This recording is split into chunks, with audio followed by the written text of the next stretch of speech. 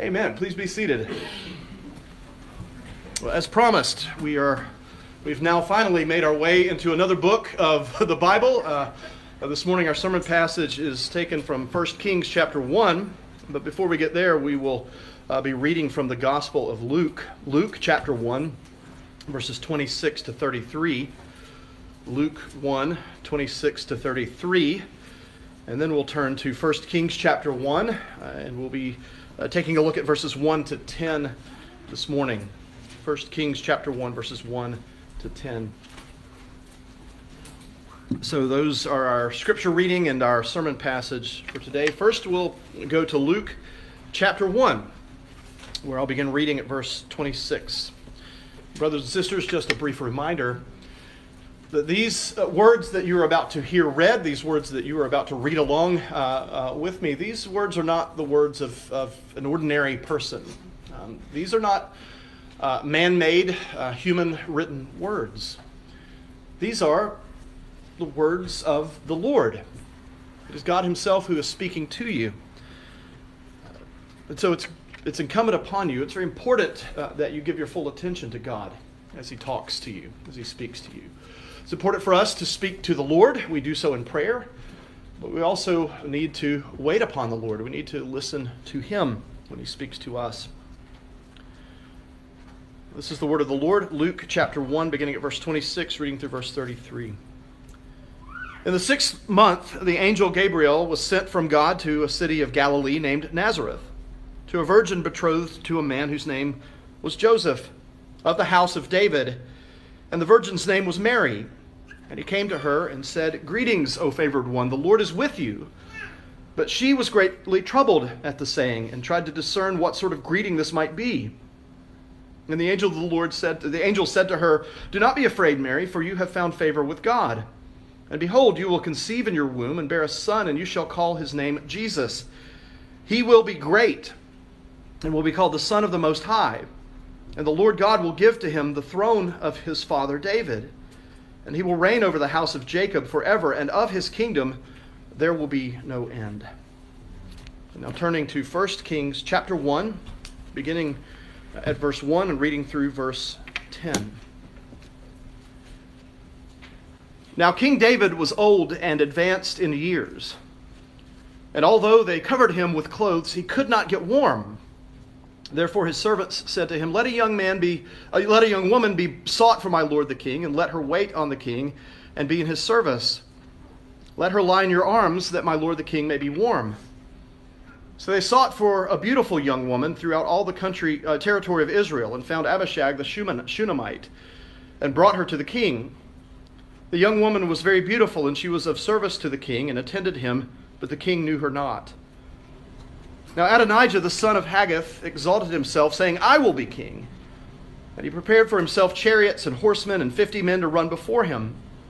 His father had never at any time displeased him by asking, Why have you done thus and so? He was also a very handsome man, and he was born next after Absalom. He, conf- he conferred with Joab, the son of Zeruiah, and with Abiathar, the, the priest, and they followed Ad- Adonijah and helped him. But Zadok the priest, and Benaiah the son of Jehoiada, and Nathan the prophet, and Shimei, and Rei, and David's mighty men were not with Adonijah. Adonijah sacrificed sheep, oxen, and fattened cattle by the serpent's stone which is beside Enrogel. And he invited all his brothers, the king's sons, and all the royal officials of Judah, but he did not invite Nathan the prophet, or Benaiah, the, or the mighty men, or Solomon his brother. This ends the reading of God's holy word. Let's pray. Our gracious God and Father, we pray that by your Spirit you would give us insight into your word and this uh, new portion of it in which we find ourselves this morning. Well, Lord, we are grateful for the author of First Kings. We're thankful for uh, his desire to continue on uh, the work of recording the history of your covenant people and of the kings of Israel and Judah. We're thankful, Lord, that He gives us the rest of the story, that He fills out this picture of King David in the, the last few days, uh, the last few weeks perhaps of his life. So we pray, Lord, that you would bless us as we look into your word, as we delve into it, as uh, your word is now preached. We pray this in Christ's name.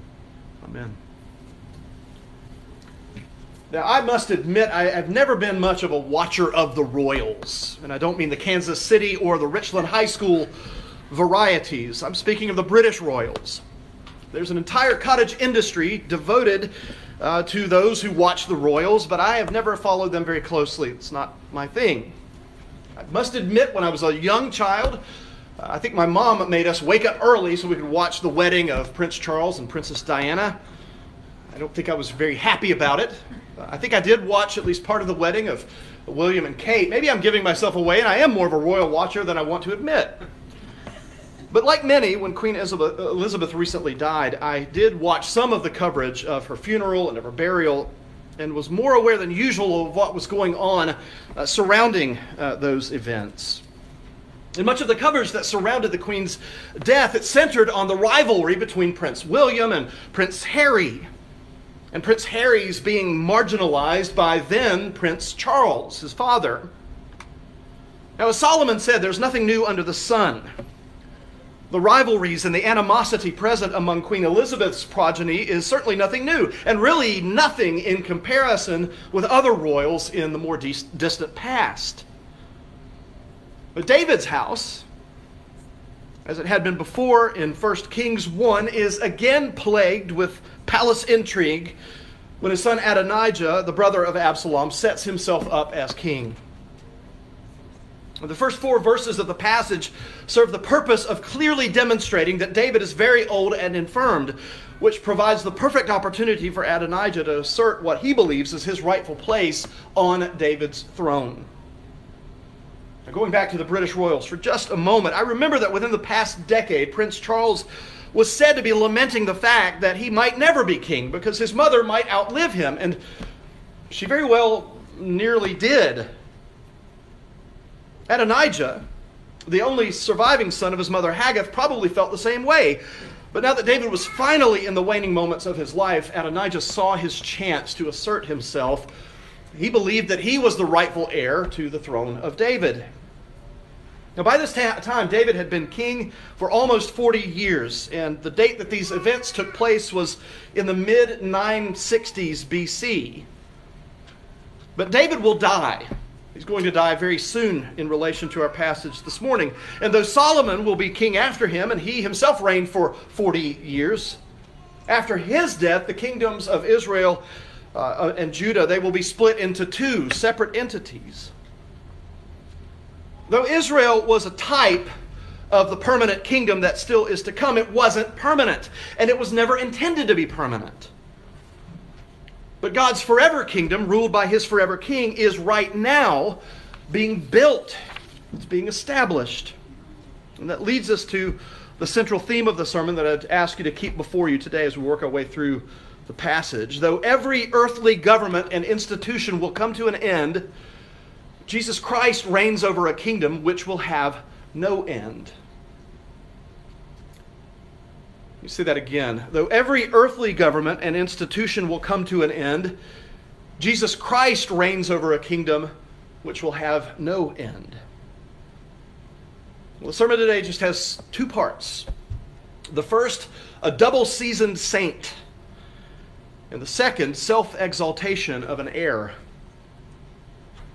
Again, the first point of the sermon, a double seasoned saint the second, self exaltation of an heir. So let's look at this first part of the sermon, a double seasoned saint. Though the specifics border on the weird for listeners in the 21st century with our 21st century ears, the first four verses are here because they introduce to the reader the fact that David, long the epitome of strength and vigor, is now an old man in his dotage. Verse 1 says, Now King David was old and advanced in years. Even in the last chapter of 2 Samuel, not knowing exactly when in David's life the events took place, he still had enough strength at that point. We must assume that he was fairly advanced in age, but he still had enough strength to build an altar to the Lord and make sacrifices upon it. But in verse 1, the, the author of 1 Kings uses two different words to stress his age, which, when considering he was only 70 years old, really serves to emphasize his diminished condition. David had lived a hard life full of war, full of battle, full of being chased around. And he was greatly, greatly diminished in health and strength. And so it's a double diminished David that the author of 1 Kings presents us with in chapter 1, which is a perfect time for an enemy to strike. Now, verse 1 continues to say that though his servants covered him with clothes, he could not get warm. Now, I know that that's the way some of you feel here on Sunday mornings. no matter how many coats you put on, you borrow your husband's coat, you put it on, you're still freezing because the temperature here is just too low. But for David, it was probably a situation where no matter how warm it might be weather wise, he could find no relief from the constant feeling of freezing to death. And the solution his servants come up with is a creative one. They suggest to the king that they go in search of a young woman, literally a virgin, to serve him by lying down with him while he sleeps in his arms to keep him warm. Now, there is reason to believe that this woman became one of David's wives, this young woman. Um, I think it's an appropriate place to remind you that in some places in Scripture there are descriptions of behavior by the people being written about, and in other places there are prescriptions for behavior. This is one of those descriptive portions of Scripture.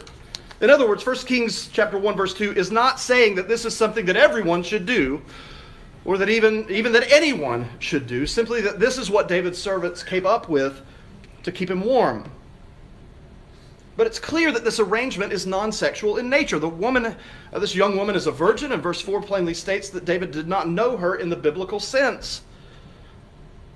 The young woman, we find out in verse 3, her name is Abishag, is the most beautiful woman in the land. Very beautiful, according to verse 4. And the town in which she lived, Shunem, was about 15 miles southwest of the Sea of Galilee, so fairly far north of uh, the city of Jerusalem where David lived.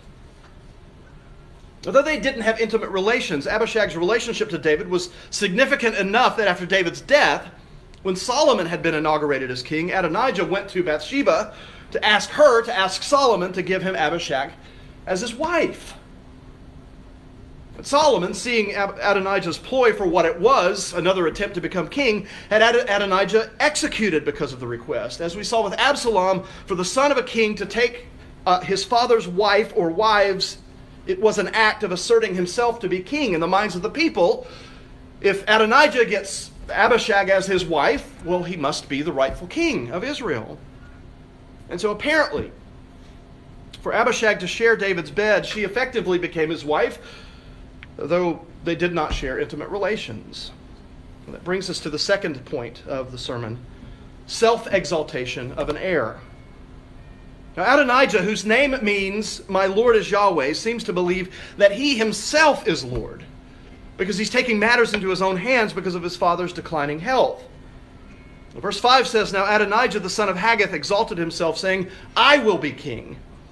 And he prepared for himself chariots and horsemen and fifty men to run before him. In fact, verses 5 and 6, when taken together, present Adonijah as the spitting image of his deceased older brother Absalom. The description of Adonijah's good looks, it's a direct reference to the description of Absalom in chapter uh, 2 uh, Samuel chapter 14, 25, which says, Now in all Israel there was no one so much to be praised for his handsome appearance as Absalom. Now that Absalom is dead, he's out of the way, Adonijah ascends to that position of being the most handsome man. And when he exalts himself with words saying, I will be king, it can be translated even more emphatically because of the pronouns that are used there in the Hebrew as, I and no other shall be king. Adonijah exalts himself because he has an exalted view of himself. Adonijah sees no possibility of any other son of David being king. Solomon doesn't even enter his mind. And part of the reason for his exalted view of himself is given in verse 6. His father had never at any time displeased him by asking, Why have you done thus and so? He was also a very handsome man. And he was born uh, after, uh, next after Absalom. Well, commentator J.P. Fokkelman writes this. He says, David has become too weak to learn from his remissness concerning Absalom whose activities he had failed to bring to a halt as both father and king. Likewise, in the case of Adonijah, he neglects the duty of a father from the very start, never setting limitations. David would rather avoid the unavoidable conflicts involved in bringing up children and arising in every normal parent child relationship. In so doing, he has brought misery upon himself and, in this case, especially upon his family. A child who has never been confronted with boundaries can hardly develop a sense of what is and is not permissible or estimate his own capacities. Great parenting advice from an Old Testament commentator. But what Fokkelman is saying is that the greatest of the kings of Israel was a failure in many ways. And may we fathers today learn from the mistakes and failures of our father in the faith, David. David's permissiveness with Adonijah had led to the events of this day, but as Adonijah will later admit, the Lord had other plans. Adonijah was emboldened and enabled by many high placed individuals. Verse 7 says that he conferred with Joab, the son of Zeruiah, and with Abiathar, the, the, the priest, and they followed him and helped him. And verse 9 lists the various influential people who came to his banquet. Adonijah had, like his brother, won the genetics lottery. And like so many beautiful people, he had an entourage of devotees who fawned over him and encouraged him in his power grab. This should be a lesson to all of us because we are all prone to place our hope in politicians as if, as if they're our Savior rather than in King Jesus. We're all prone to place our hope in the beautiful people, the stars of Hollywood, or those who uh, mingle with them. But if Adonijah had truly been heir to the throne of David, he would have had no need to exalt himself. He wouldn't have needed to try to seize the throne. When the angel visited Mary in Luke chapter 1 to tell her that she was going to give birth to a son who she is to, to give the name Jesus, he tells her in verses 32 and 33 He will be great and will be called the Son of, of the Most High, and the Lord God will give to him the throne of his father David, and he will reign over the house of Jacob forever, and of his kingdom there will be no end. Jesus did not grasp for power. Jesus did not try to seize the throne of David. In fact, he had given up power. He left his position in heaven. The passage from Luke says that the Lord God will give him the throne. Now, if David was a type of Christ, and he was, then, then Adonijah is a type of Antichrist. David was given the throne by God, but Adonijah tried to take it. And Joab and Abiathar, the, among others, tried to help uh, Adonijah take it. But verse 8 gives uh, an important list of names who were not uh, of people who were not with Adonijah. Zadok the priest, Benaiah the son of Jehoiada, who was an officer in David's army and one of those of great renown among the 30 of David's mighty men. And also Nathan the prophet was not with Adonijah, nor was Shimei, probably not the Shimei who cursed David as he fled Absalom, but the one in 1 Kings chapter 4 verse 18 who was one of Solomon's 12 officers over all Israel. And Rei, who was unknown to us, was not with Adonijah, as uh, were uh, David's mighty men. They also did not follow Adonijah. Adonijah's supporters, Joab and Abiathar, as well as the ones mentioned in verse 9, who came to his banquet, all of his brothers, except notably Solomon, and all of the royal officials of Judah, made up an impressive list of dignitaries. And they certainly helped to submit, uh, cement Adonijah's exalted view of himself. And at this banquet, Adonijah sacrificed sheep and oxen and fattened cattle by the serpent's stone, which was near En Rogel. And Keil and Delitzsch write Adonijah uh, commenced his usurpation, like Absalom, with a solemn sacrificial meal, at which he was proclaimed king. Now, in addition to Solomon, those who were absent included Nathan, Benaiah, and all of the mighty men. None of these men were invited to the banquet which is clear evidence that Adonijah at least knew at some point, he had an inkling that Solomon was supposed to be David's successor. Adonijah did not want anybody at his party who would ruin it. But he did want the people of Israel to believe, based upon the banquet and those who attended it, that he was the rightful heir to the throne. As we'll see in coming weeks, the throne of David, it will survive this attempted coup d'etat by Adonijah. And even though Israel and Judah would split after Solomon died, David's throne would continue on until 586 BC when Jerusalem was destroyed. But as we see, David was not the forever king. God promised that the, the forever king would come after him. Solomon was not the forever king. He was a good king, but like his father, he had many, many flaws. And God's forever king isn't the person who lives in the White House, not now nor at any time. God's forever king is Jesus Christ, who was and is and is to come. Even now, Christ Jesus is king. And he will reign forever in a kingdom that will have no end. Christ's kingdom cannot be shaken because it has been established by Almighty God. Though Satan would love to destroy it, the kingdom of God is eternal, and Satan's threats against it are empty words. The kingdom of Jesus Christ will last forever and ever.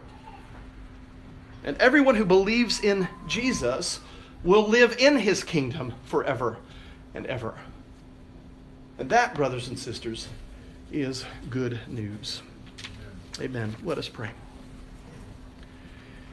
Our gracious God and King, we are thankful that you have brought us into your kingdom. You have welcomed us into your kingdom. You've made us citizens of it. You've called us out of the kingdom of darkness, of sin, of death. You've called us into the glorious kingdom of light. Lord, far too often we have one foot in both kingdoms. Far too often we forget that our true, our lasting, our ultimate citizenship is with you in heaven. Far too often we think that our temporary digs are permanent. We pray that you would help us to remember that we are citizens of your kingdom, that we are children of the King. We pray, O oh Lord, that you'd help us to walk accordingly. We pray that you would remind us, O oh Lord, that our hope is not in the strength of any person. Our hope is in the Lord. We pray this in Christ's name. Amen. Our hymn of response is number 166. Wondrous King, all glorious. Please